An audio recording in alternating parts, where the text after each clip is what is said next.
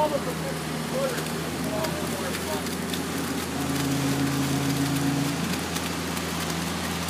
we got the big dogs out here today.